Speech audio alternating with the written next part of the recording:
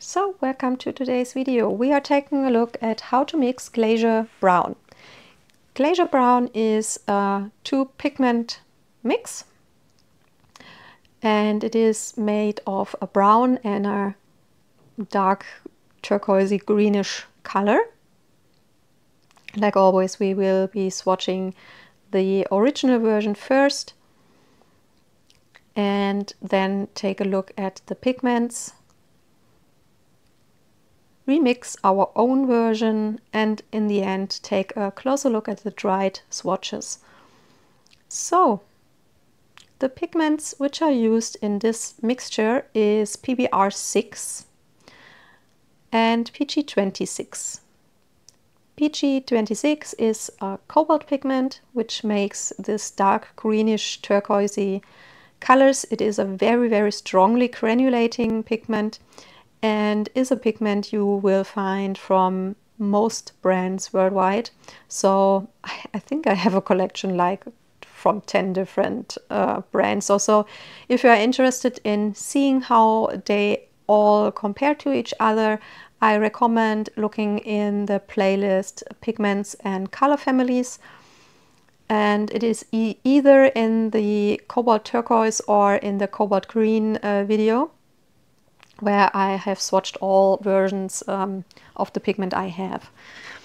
So this is one of the pigments. The other is the PBR6. PBR6, which I am swatching now, is a pigment um, from the iron oxide family. It is basically the synthetic version of PBR7, which is in watercolor at least much more often used than the synthetic version, which is interesting because with the um, red or yellow iron oxide pigments, we have like the same amount of synthetic or natural versions where we have with the brown iron oxide, we mostly have the natural version and barely see the PBR6. So there are not a lot of brands offering a PBR6 single pigment color and the version from Schmincke is basically a color separation color on its own because I think there is a higher amount of um, black iron oxide pigments in it because you have a little bit of color separation sometimes between brown and, and blackish parts. So this is one of the very rare cases where I personally say it is probably best to really use the version from Schmincke just because uh, it looks very different to all PBR6 versions I have ever seen because of this um, little effect. Of course you could try to recreate it uh, to um, and adding a, a little bit of PBK 11 or so, but that would of course make the swatch, uh, uh, the mix a lot more difficult. So yeah, the version from the PG26 I'm using is the one from Winsor Newton Professional. I think the color is called um, Cobalt Turquoise Dark. And the PBR6 from Schmincke, I think, is you, uh, called um, uh, Brown Iron Oxide or so.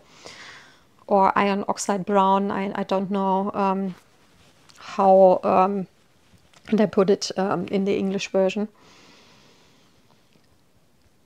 It is a color, the glacier brown, which uh, does separate in areas which are brown, like the PBR6, which are this dark turquoise green. And we have areas where the twos are very well mixed together to have a very, very dark greenish brown color, which looks like a, yeah, a raw umber, but in, in a very dark version and on some areas. Definitely is a color combination I probably would never have mixed together um, on my own